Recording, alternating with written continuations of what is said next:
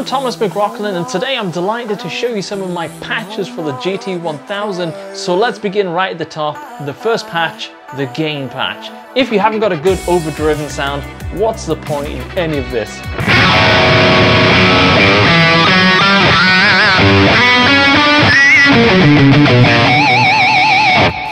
So it just has enough gain so when you back off the volume pot, it, it really responds great. Listen to this.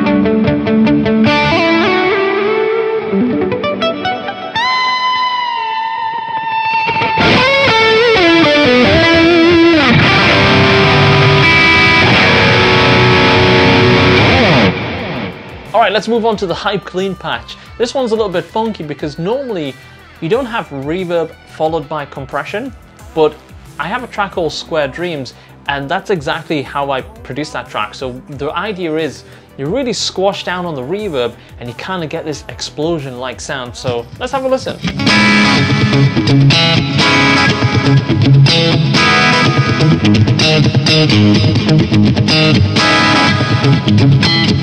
thank you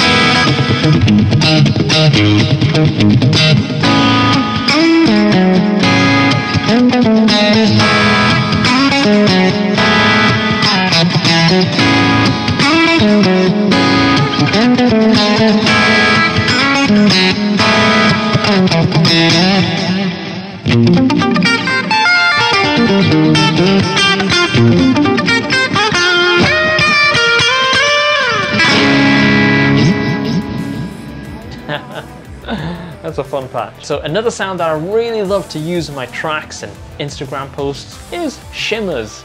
Now I think I've dialed in a pretty cool shimmer.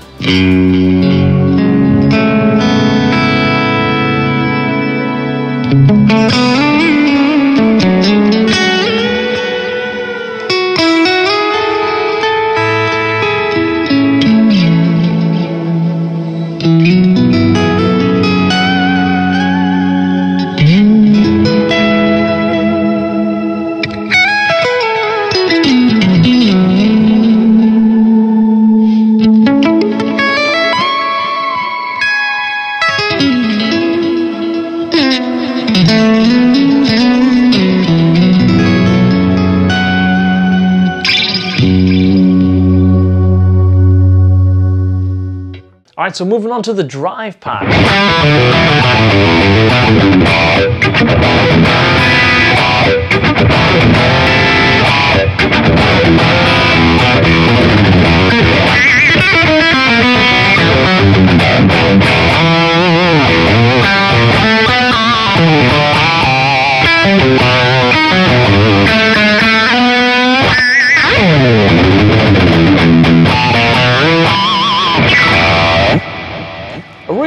Of on the edge patch. You don't really need a boost to kind of go to lead sound.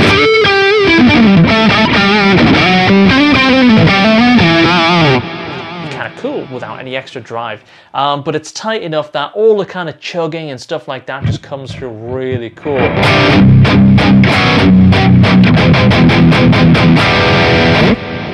Love that sound. Moving on to the split clean.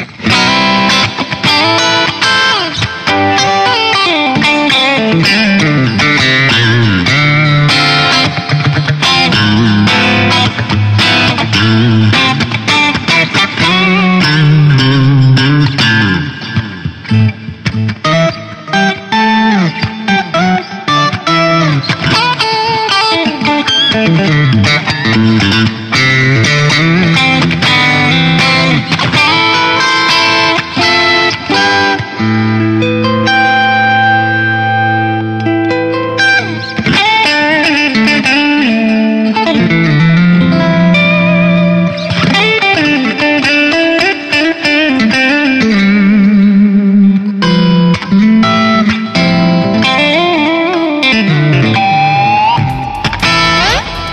Yeah, just a really good clean in, uh, in general, actually. Um, in particular, I really like those two and four positions. So if you have a five-way switch, uh, that split sounds just really spanky. It's just, it's just got enough compression and drive that everything's got a lot of life to it. So it's a really cool sound.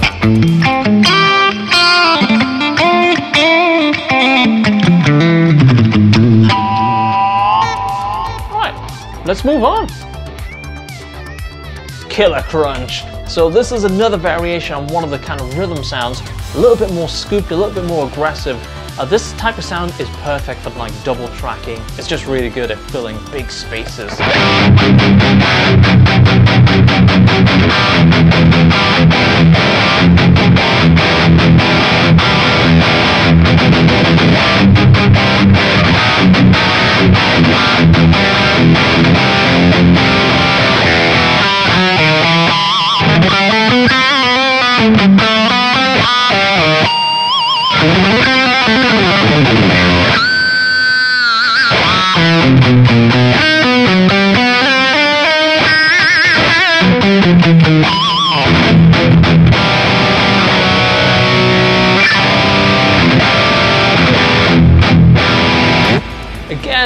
The right amount of gain. So if you want to go into a lead sound, I don't think you really need to kind of reach for that boost or anything like that. You've just got a tight enough sound that kind of caters that fine line between solo and rhythm, but great for double tracking. I've double tracked this sound a couple of times.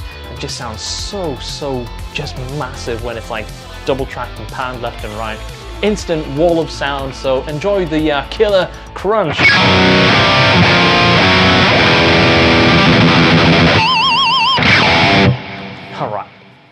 Let's move on.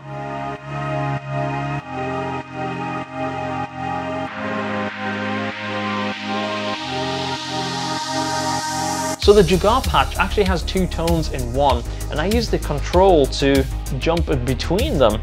So the idea is the cleans from the, the sort of track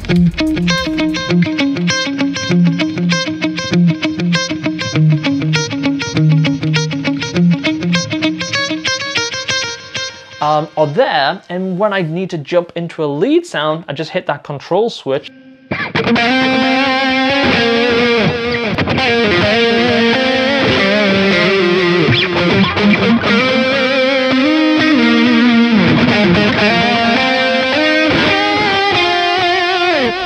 So Jugar, if you're not familiar, it's a track by my band McRocklin and Hutch. It's a really kind of mellow track that has some really cool lead lines and stuff, and it's really important that that lead sound really sings. And in this case, I think the patch in the, the GT1000 did a great job at kind of delivering that mid-range bite that was really important for that solo to cut through in the context of the rest, the rest of the track. So one other detail that I use in a lot of these patches is I tend to use the expression pedal for two purposes. It slightly reduces the volume, but also increases the reverb. So when I'm playing tracks by McRocklin and Hutch, when I'm kind of doing more background lead sounds, when I hit that um, expression pedal down, it gives the guitar just to kind of get out of the way a little bit of the main track. So let's have a listen to how that actually sounds uh, in the real world. So.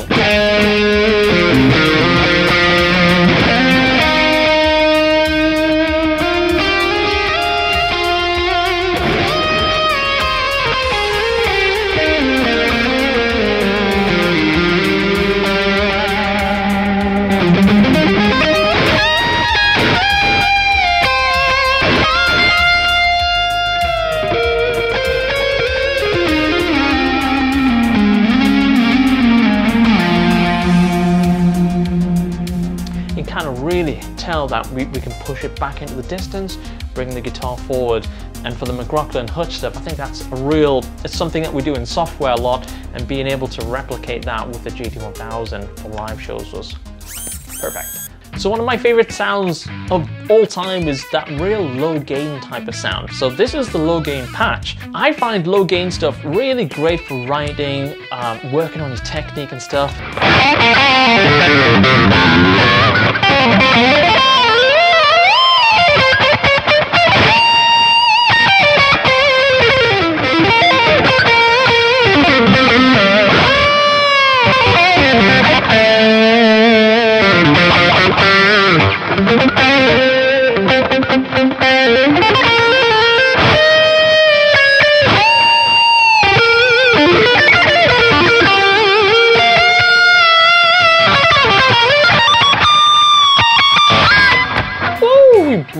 String right up the frets there.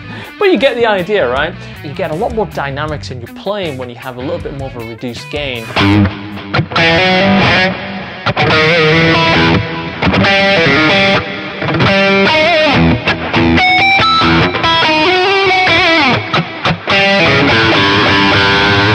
So when I dig into those strings,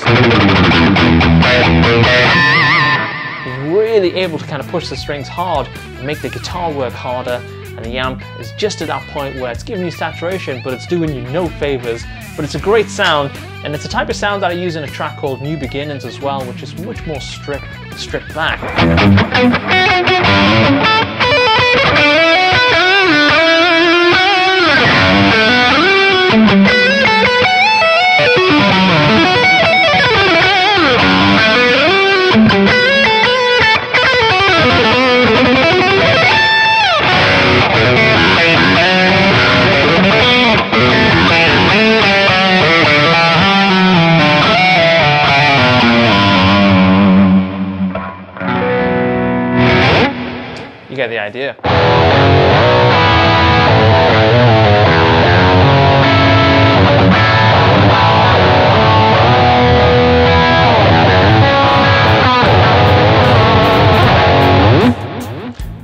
Tight patch. So with this one, again, it's perfect for double tracking.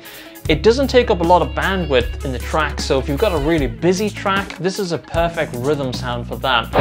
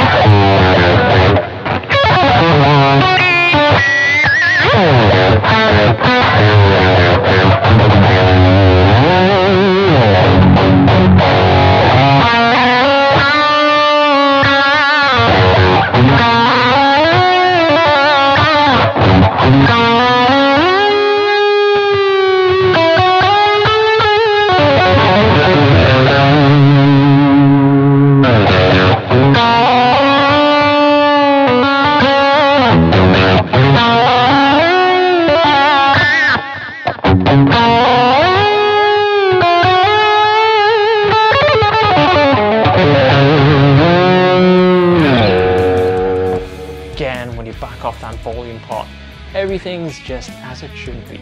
All right, so the 10th and final sound in the pack is the bite clean sound. Similarly to the low gain, this is kind of the opposite of that where it's more of a pushed clean.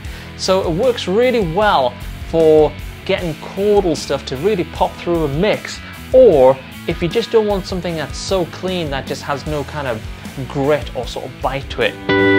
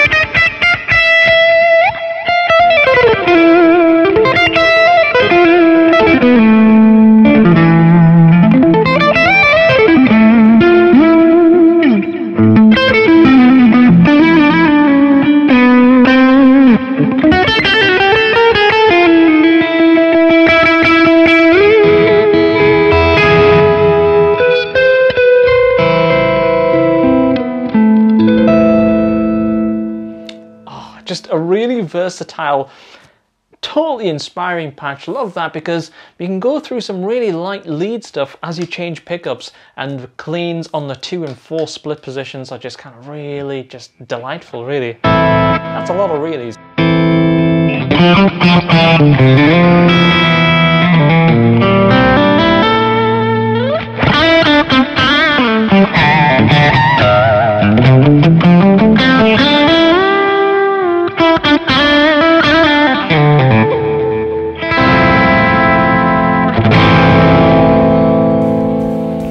So as I've changed through different guitars here, I've given you a taste of different pickups, different types of guitars. These pickups are passive, for example, where the other two guys were Fishman active pickups. So this pack works really well with different types of pickups, different types of guitars. So hope you enjoy it. I've been Thomas McRocklin. If you want to see more of me, you can catch me on Instagram at McRocklin. And if you want to take your guitar playing to the next level, I've recently launched a guitar school. It's called School of McRock. You can catch that at schoolofmcrock.com. Have fun guys, and I'll catch you soon. Take it easy.